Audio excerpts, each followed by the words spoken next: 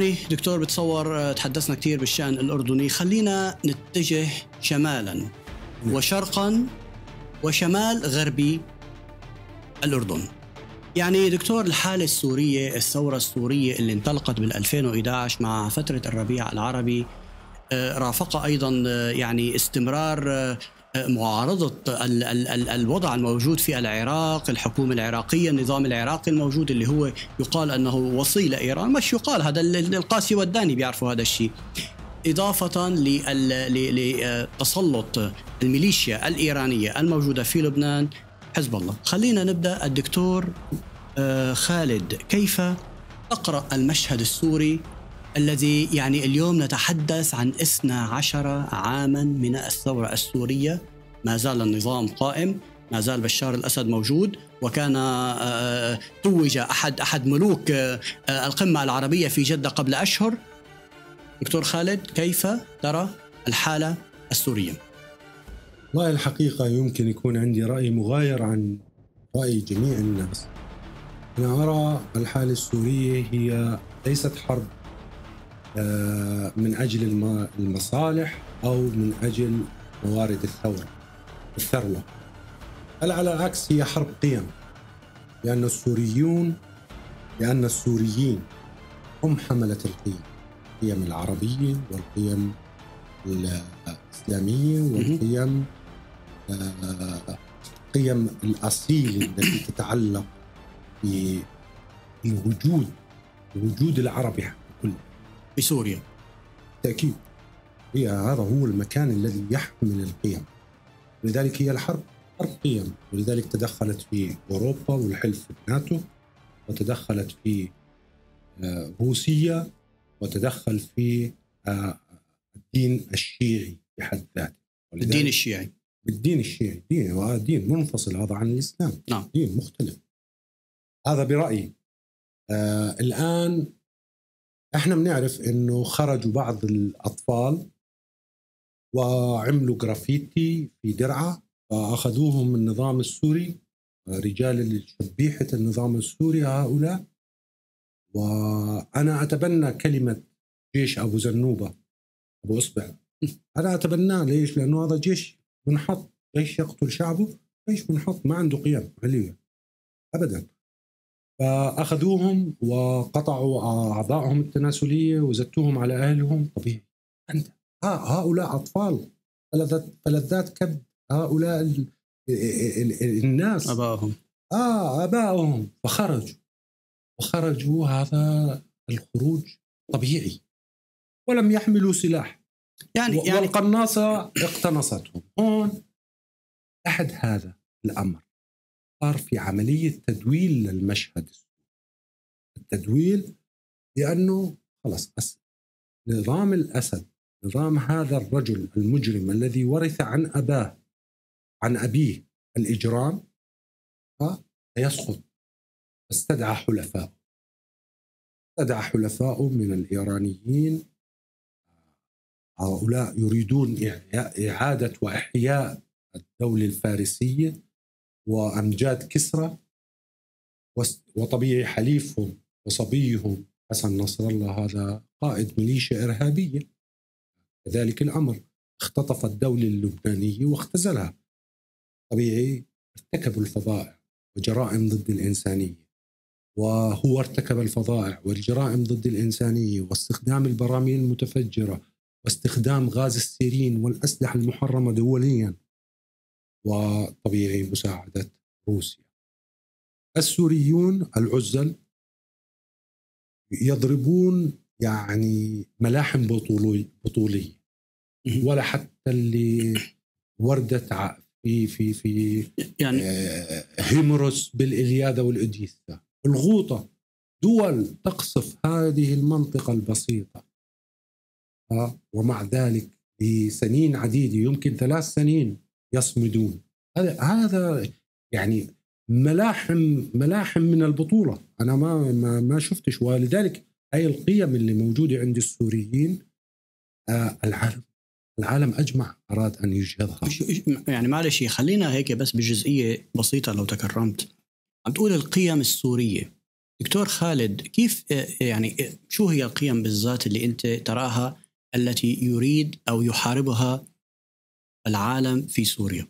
قيم قيم السوريين آه اللهم صل على سيدنا محمد قيم السوريين التي يستمدها السوريون من الدولة الأموية.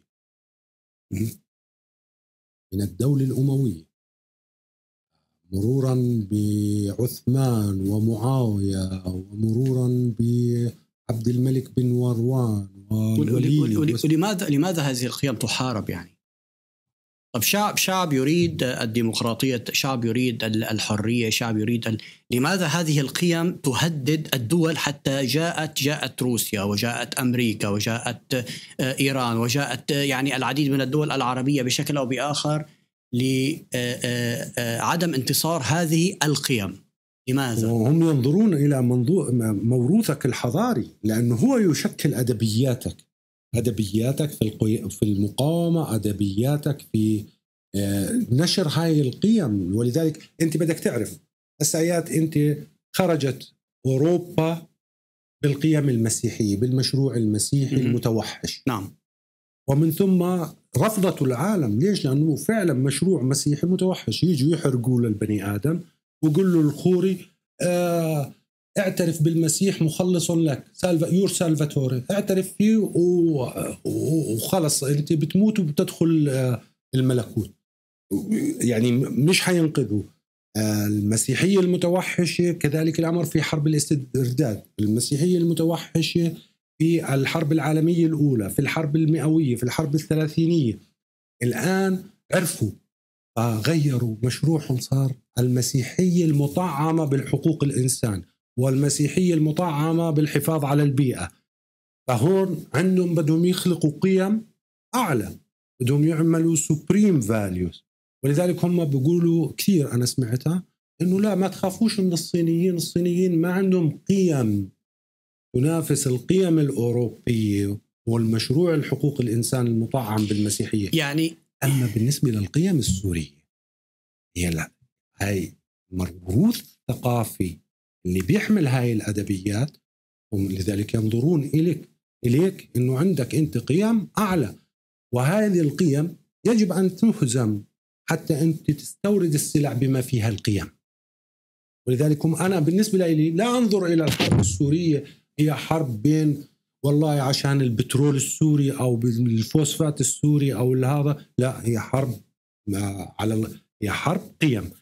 قيم ما بين القيم المسيحيه القيم المشروع المسيحي المطعم بحقوق الإنسان القيم الموروثه من الاتحاد السوفيتي والبروتستانتيه المتوحشه كذلك في الكرملين والقيم قيم الفرس المغطاه والمذهبه والمزركشه galvanized بالشيعة التي تدعي إنه لهم الحق بسبب إنه هم من أتباع آل البيت وفيهم السياد وكأنه آه فهذا هي الحرب اللي في سوريا في نظري ولذلك أنت تجد هذه الأمم تتداعى على سوريا كما تتداعى الأكلة على القصعة. طيب جميل جدا، يعني أنت اليوم انطلقت أو استمريت أو فتحت موضوع القيم اللي أنت بتشوفه إنه هو أصل الصراع على عدم آه، آه، تحرير الشعب السوري من من المنظومة الحاكمة به. طيب هذه القيم التي تتفضل بها إلى أي حد هي تنطبق على من يديرون مشهد المعارضة أو مشهد الثورة سميها ما شئت. خليني أبتدئ من هون، أنا أقول شوف وسؤال في نفس النقطة كمان، طبعا. إلى أي حد هذه القيم آه، اللي تفضلت بها التي يخشى منها الغرب أو يخشى منها العالم الذي يحارب في سوريا لصالح الأسد آه، آه، ما زالت موجودة بالشكل الذي أنت تقصده. أنا أو الشكل الأموي أو الشكل اللي, اللي, اللي تفضلت فيه. أنا بدي أقول لك خليني أبتدئ من هون. شوف بالنسبة لبشار الأسد عندما ارتكب هذه الجرائم ضد الإنسانية لن تقبل المجموعة الدولية، لكن لا يبعثونه لوين؟ لمحكمة الجزاء الدولية. لكن بوتين على السريع. عمر البشير على السريع. كينيا أهراته على السريع. آه الآن كينياتو. الآن وكثير من رؤساء أفريقيا لكن بشار الأسد لا يبعثونه ليش؟ لا يبعثونه لأنه آه، بدهم استمرار مبين واضح. الآن الذي ما الذي حصل؟ اللي حصل في أربع ملايين قتيل سوري. منهم الأطفال أكثرهم والشيوخ. وأكثر من مليون. قريب. مليون. آه. قرابة المليون يوجد يعني ما يصل إلى أكثر من مليون مه... آه مغيب.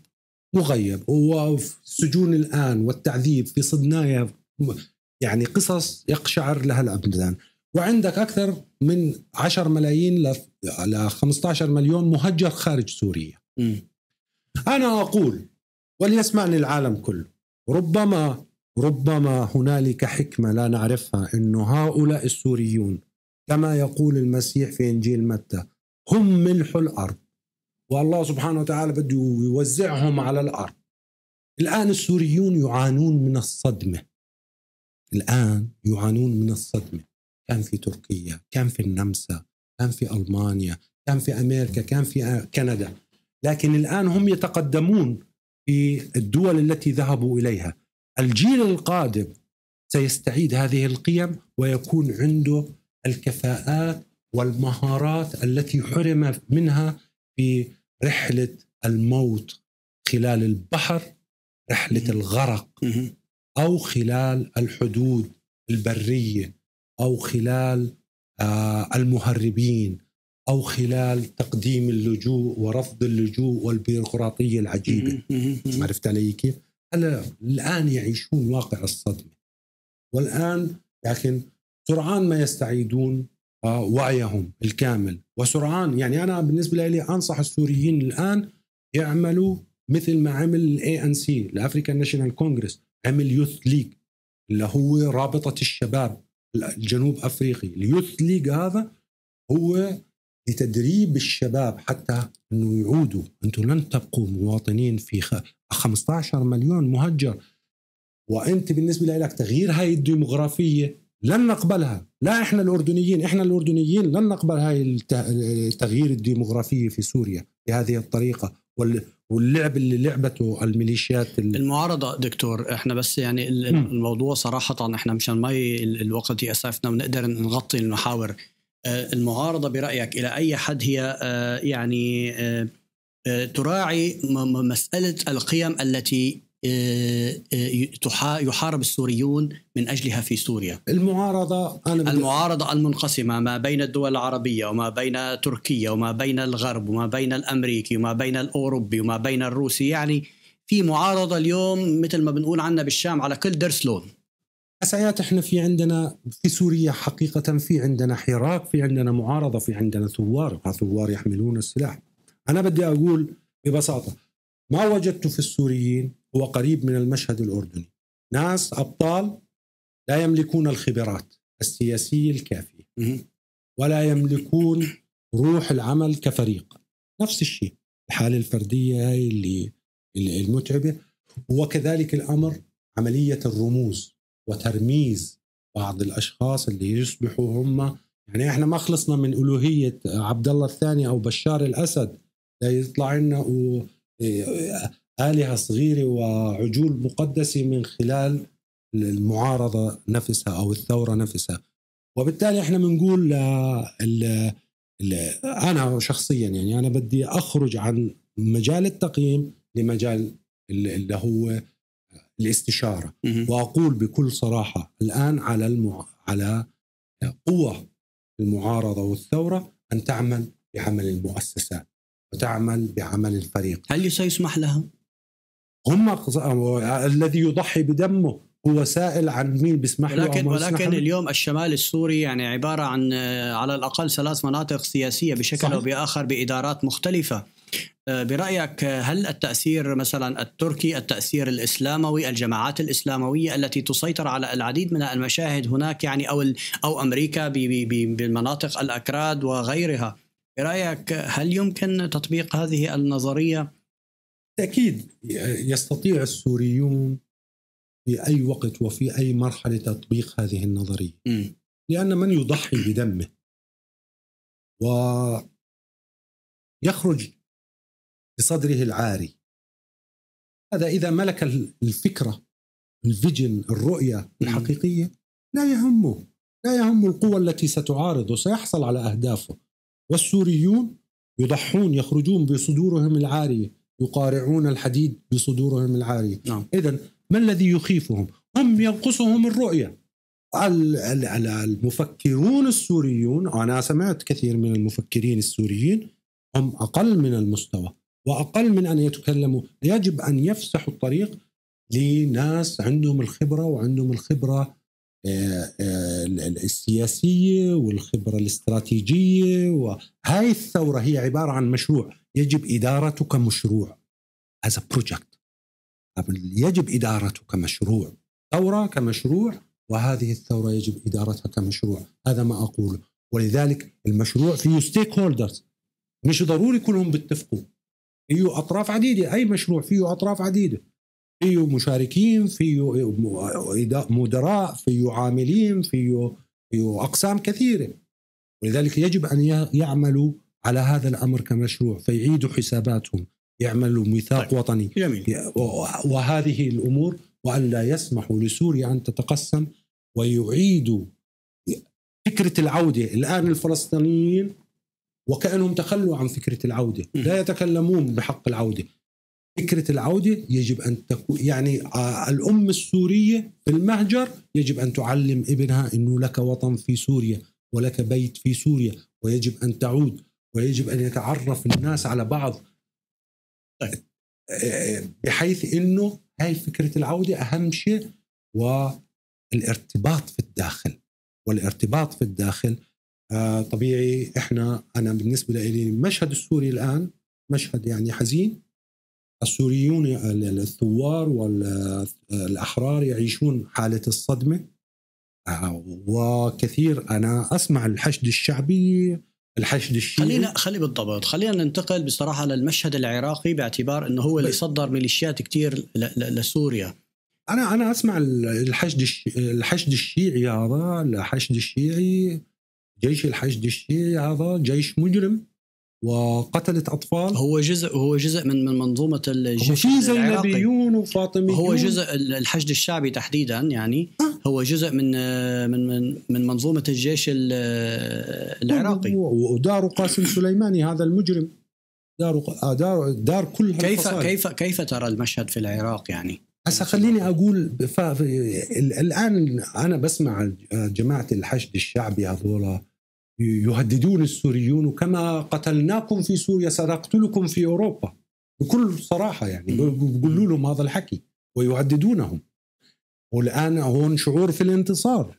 لكن هذا الشعور بالانتصار شعور مرحلي وإحنا بنعرف إنه هذول الحشد الشعبي ميليشيات ما عندهاش ثقافة ما عندهاش أدبيات غير أدبيات إنها تسب آه وتشتم وتدعي ما ليس لها. هم مثلهم مثل الإيرانيين يدعون أنهم هم السادة وآل البيت و لستم بسادة ولا بآل البيت. آل البيت هم أتباع محمد وأهل البيت هم زوجات محمد. خلطوا هذه المفاهيم confuse others. على أساس يعني يشوشوا أفكار الآخرين.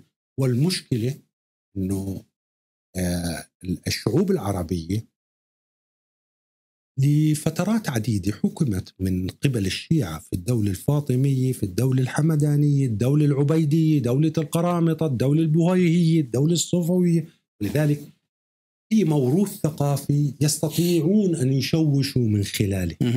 يستطيعون أن يشوشوا من خلاله.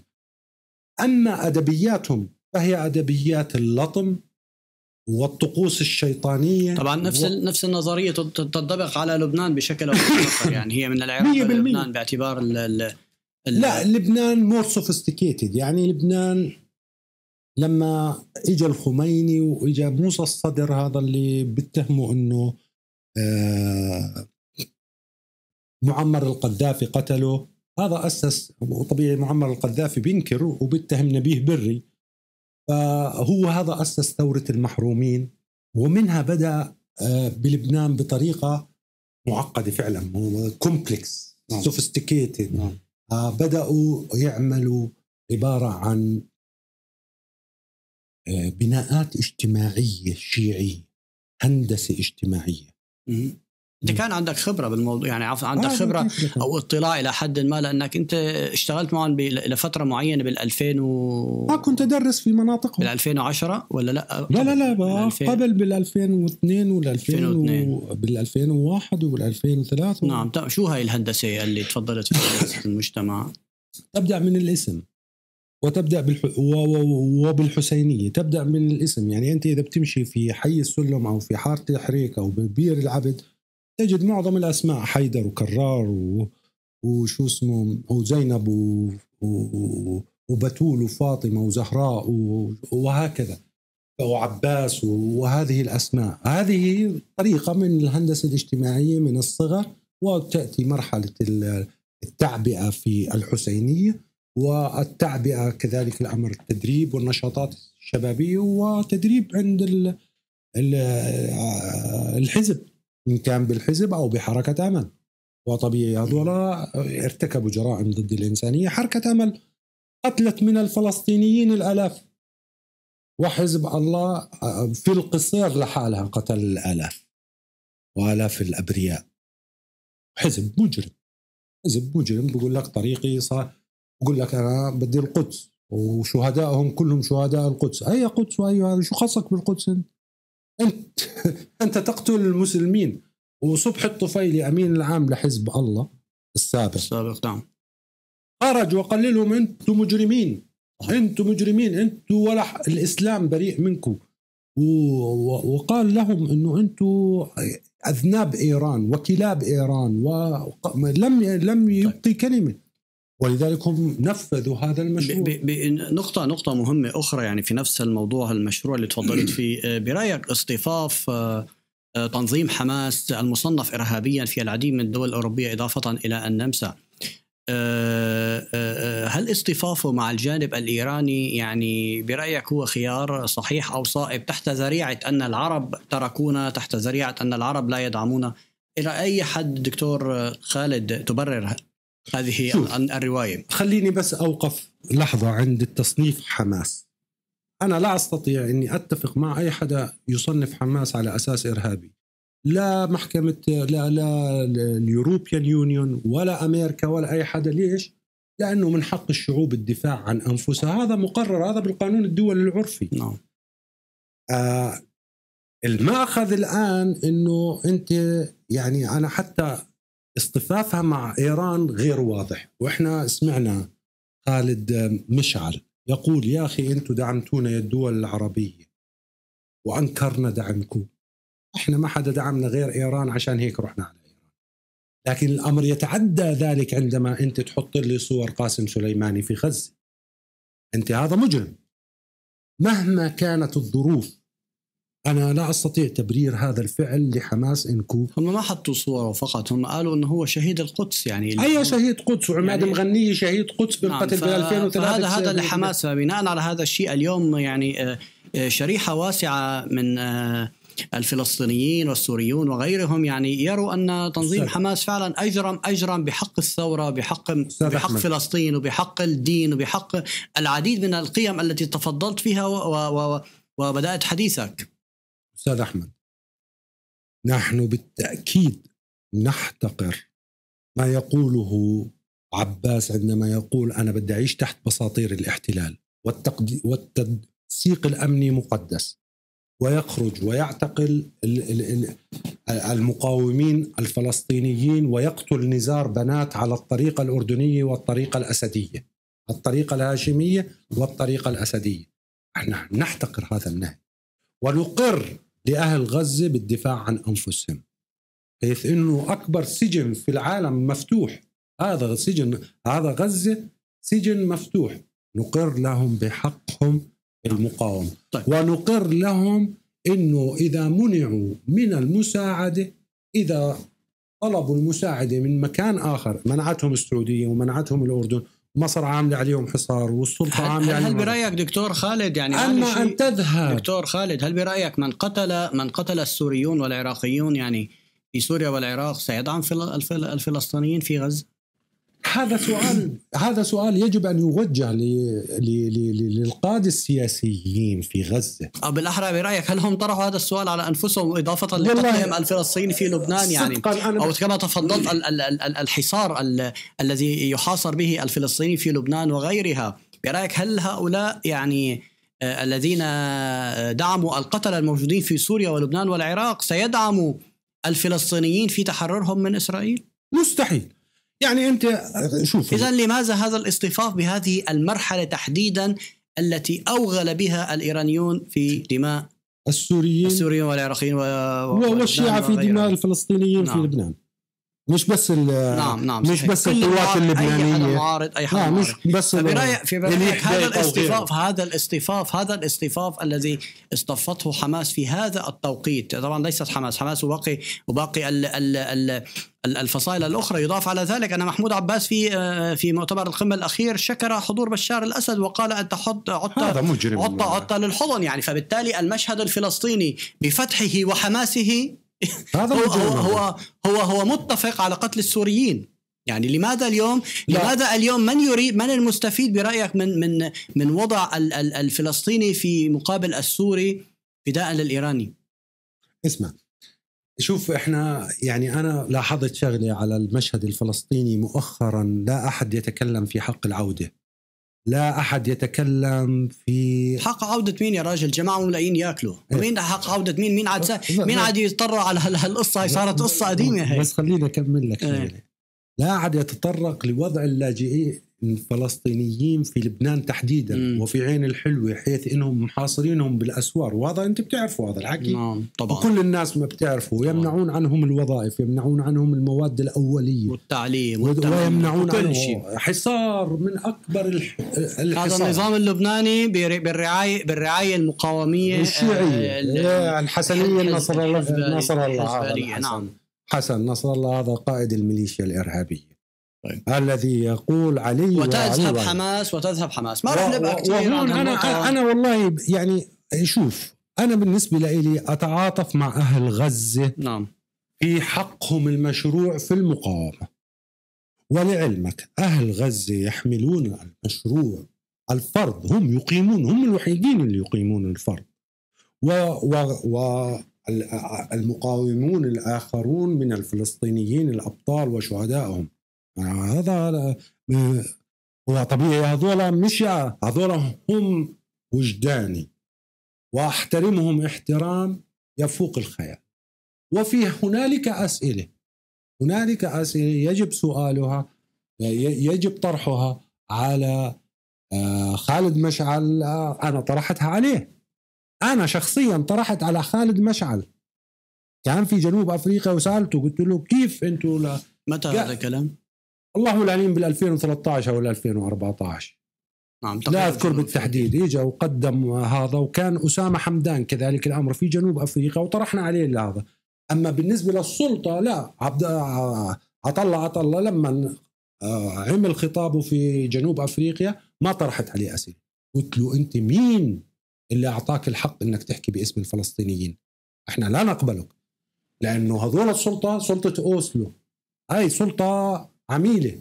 لا يمكن إني أبرر لك أنت يا سلطة اوسلو تروح تقبضي على المحررين الأسرى المحررين أو تروح تقتلي واحد مثل نزار بنات أو إنه ينسجن الناس بنفس الجرائم اللي بيسجن فيها عبد الله الثاني إطالة اللسان على عباس. مين عباس هذا؟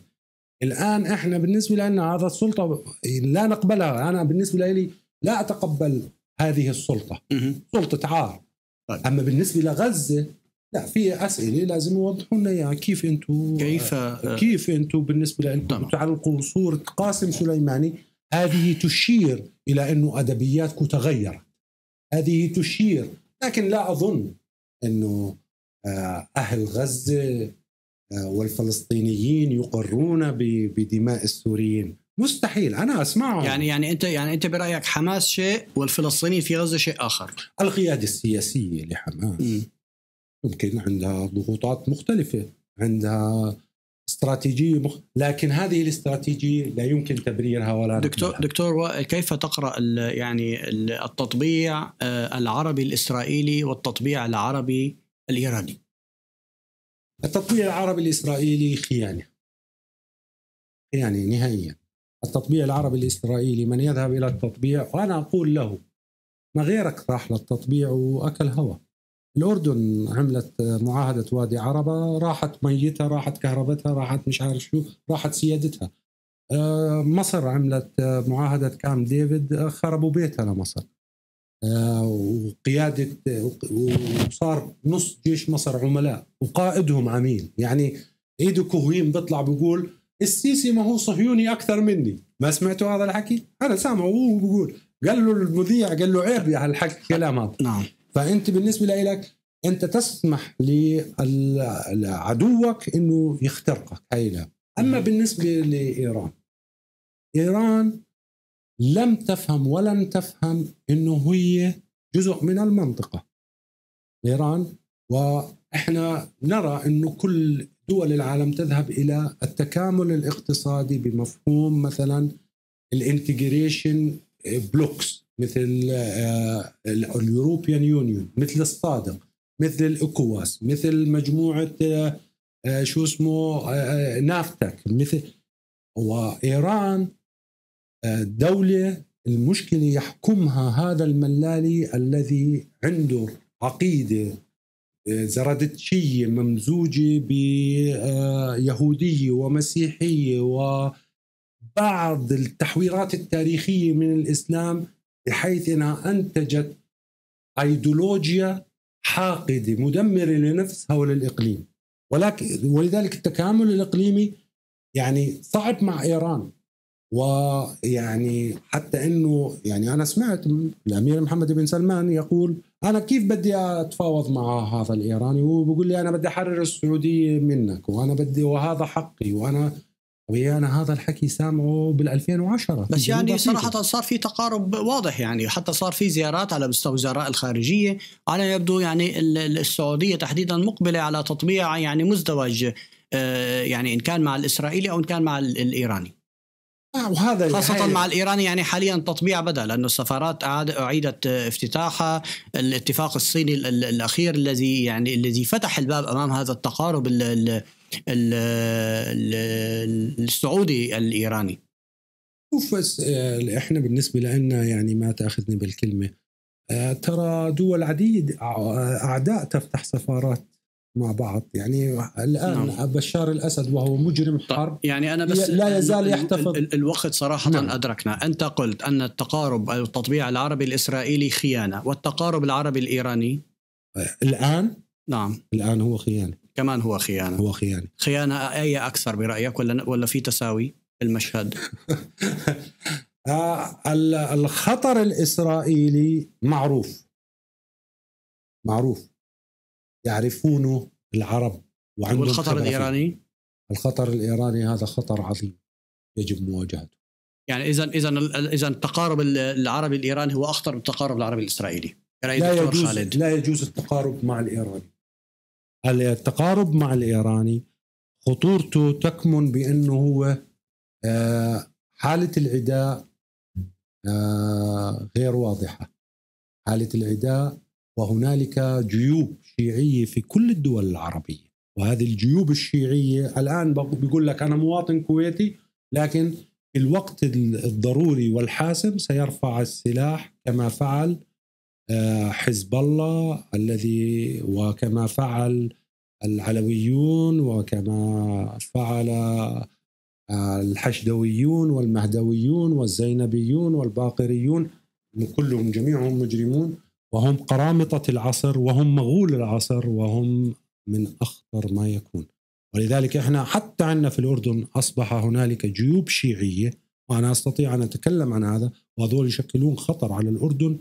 وهنالك جيوب شيعية موجودة في مصر وهنالك جيوب شيعية ضخمة في السعودية. ولذلك أنت تفتح المجال حتى لهذه الطقوس الشيطانية هذه الطقوس التي هي ضد الإنسانية وضد البشرية وضد كرامة الإنسان.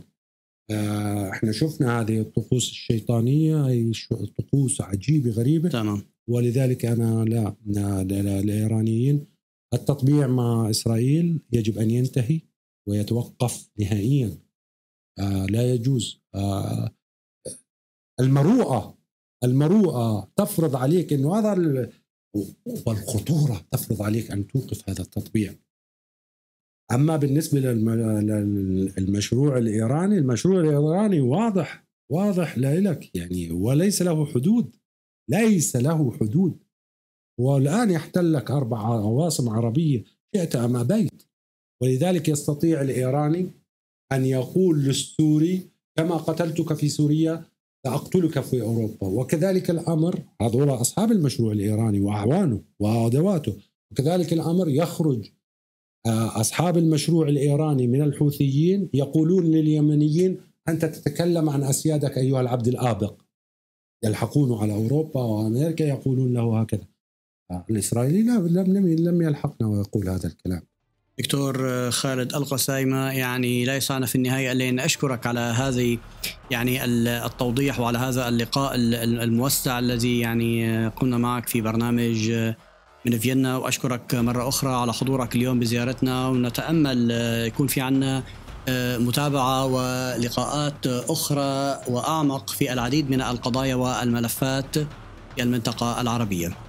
أنا بدي أشكركم إتاحة الفرصة وطبيعي أنا تشرفت بحضرتك أستاذ أحمد وأنا عرفت إنه حضرتك سوري وإن شاء الله الله بردكم لدياركم ردا جميلا عزيزا مباركا كلكم السوريين آه وطبيعي ربما ربما أعيد أنا أريد أن أعيد الكلمة. السوريون ملح الأرض.